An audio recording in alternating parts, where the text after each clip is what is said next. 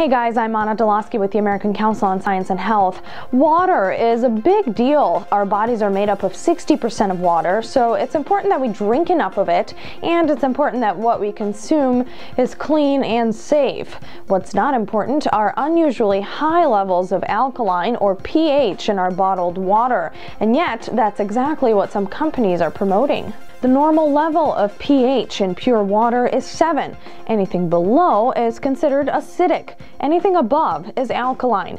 At both extreme ends, the solutions can be dangerous to humans. So why then are some brands boosting the pH levels in water to 8, 9, and even 10 or higher, claiming the increased levels of pH promote health, keep you better hydrated, and have the ability to fight cancer? The claims stem from a pseudoscience crowd that's pushing this idea idea that maintaining a high pH diet would kill cancer cells, except there's zero evidence to back that up, and here's why pH levels are tightly regulated by your body's organs, and if the formula is thrown off, your body simply responds by trying to balance it all out. This is why adding extra levels of alkaline to your diet won't have any effect on your system. In fact, by the time water makes it to your stomach, specialized cells will strip its pH levels down to a 2, so any benefit of having extra is gone forever. And you also won't get your money back. So you see, drinking that expensive bottle of water won't do anything else but keep you well hydrated.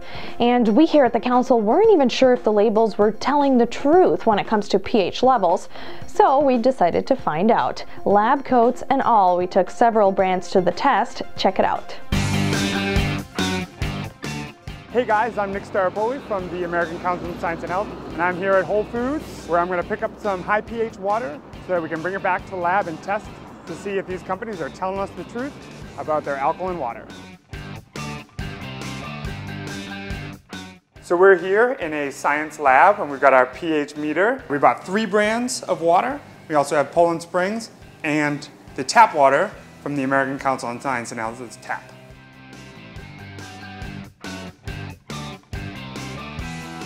Pure Blue label says it contains a pH level of 8.5 to support your body's pH balance. Our results say pH level is 7.92, five times less alkaline than marketed. Next up, Iceland Spring. Label says a pH level of 8.88 to help your body restore natural balance. Our results say 7.64, more than 10 times less alkaline than marketed. Here's what we got on Essentia. It claims a pH level of 9.5 or more. We tested and found it's telling the truth with a pH level of 9.85. And just in case you weren't a walking encyclopedia, here are some chemical structures that have a pH level of 9.5 or more. Toothpaste, baking soda, ammonia, milk of magnesia, and bleach. We lastly tested the New York City tap water and found it contains a pH level of 6.5, which makes the water pure and safe for drinking, and it's free. Well, sort of. So the next time you're at the grocery store looking for that perfect bottle of hydration, choose wisely. The alkaline doused water bottle will keep you hydrated, no doubt, but it won't cure your cancer. To see more stories like this, like us on Facebook or visit our website, acsh.org. Don't forget while you're there, you can also sign up for your daily dose of news delivered straight to your inbox. For the American Council, I'm Anna Dolosky.